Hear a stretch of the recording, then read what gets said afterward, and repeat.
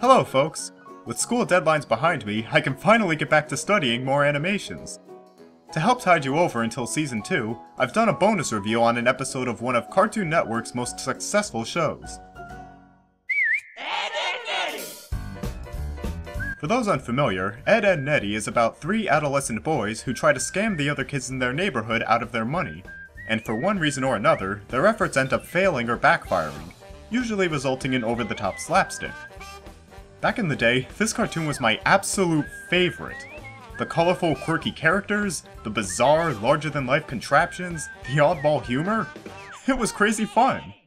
But even though I loved this show to death, it did have a few episodes that would prompt me to change the channel. The topic of this review, Sorry Wrong Ed, is not one of them.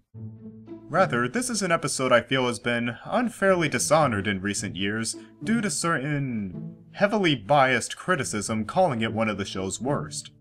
Sorry Wrong Ed is something of a black sheep in the series, and may not rank among the best episodes, but it's not poorly made.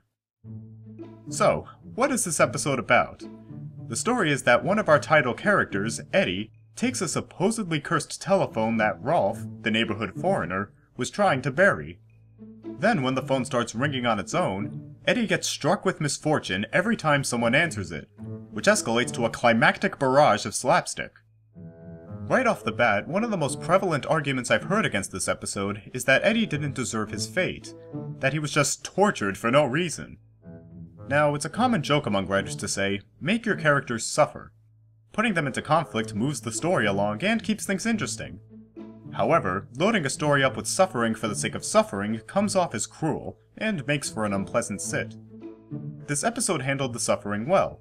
Perhaps the most important reason why is because of Eddy's actions and motivations.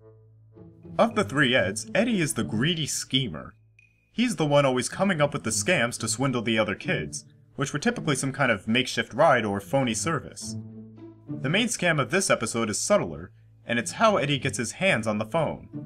Walk away from the suffering that has cursed Rolf's family for generations, Ed Boy! Why don't you get Victor to give you a massage or something? And I'll guard the big bad phone for you. Thank you, Ed Boy! Thank you! Idiot. Okay, Ed, dig! This establishes that Eddy is not simply a victim in this story. Him not believing the phone was cursed is understandable. Rolf is known to partake in bizarre cultural ceremonies, which is something they even reference directly. A ceremonial telephone burial? Um, my, how quaint. However, this does not excuse Eddy from deceiving Rolf into thinking he cared about his well-being by lying about guarding the phone. This isn't the only reason Eddy deserved his fate either. When he becomes convinced the phone is cursed, one of the other Eds, nicknamed Double D, tries to calm him down. Any relationship to Rolf's telephone of doom is pure coincidence. I say we test it! So instead of just burying the phone, Eddy decided to egg the curse on just so he could say he was right. He even ones up that decision later, when he flat out tries to pass all the suffering onto someone who would have been an innocent victim. We'll just glue to your head so you don't lose it, okay? Okay. This is why the story works. Eddy makes stupid, selfish decisions at every turn, so we don't feel sorry for him when things go wrong. Before we discuss the other characters, let's discuss the quote-unquote torture. It's cartoony slapstick that the show is known for. There are a few things that help sell these gags. Two of them are timing and absurdity. Some of them are so ridiculous and over the top that it's funny, such as this moment.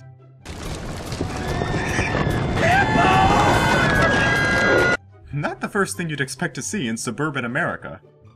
The ground shaking helped build anticipation as well. We knew something was coming, just not what. Another of my favorite moments is this gag from the beginning. Yellow?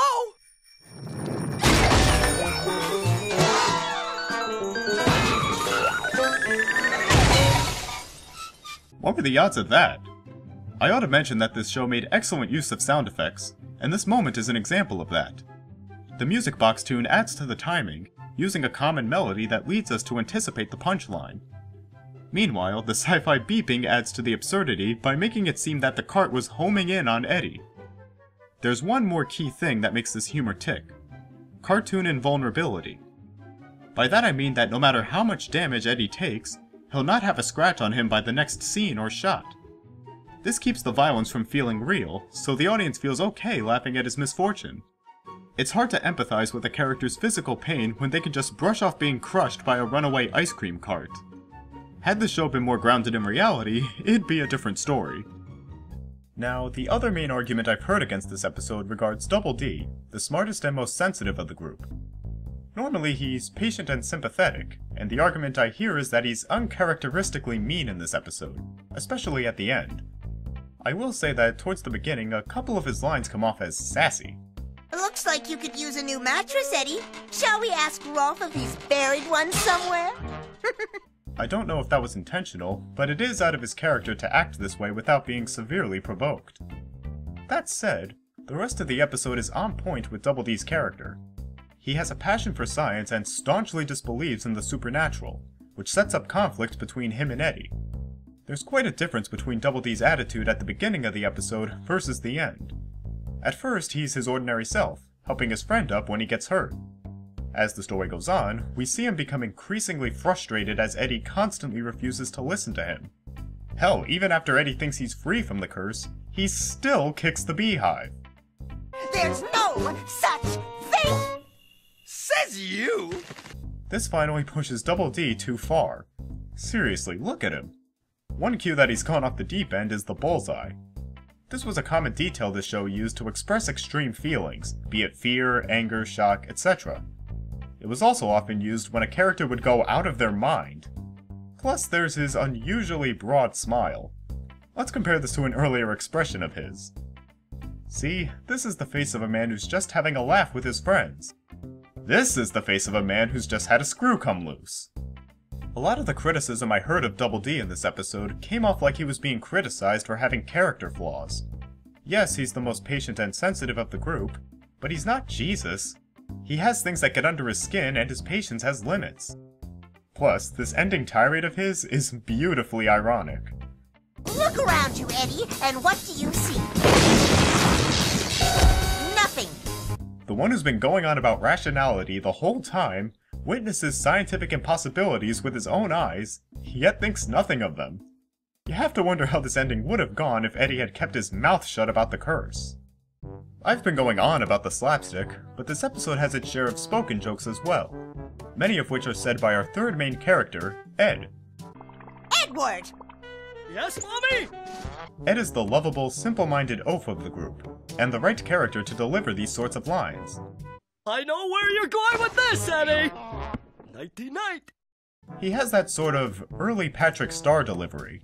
His sincerity when saying odd or ridiculous things is both comical and endearing. It's especially effective when his one-liners are used to follow up a bout of slapstick. Eddy's in pain now, he'll have to call you back! In conclusion, the plot is simple and straightforward, so it's the characters and humor that really drive the episode. While the jokes land consistently, the slapstick ranges from unpredictable and over the top to just par for the course. And despite a couple hiccups, the characters are consistently written. In terms of animation, there was only one obvious flub. Eddy was supposed to get charred by lightning here, but he's already charred before the lightning shows up. There's also a few shots of the Ed staring at the phone that end up feeling like padding.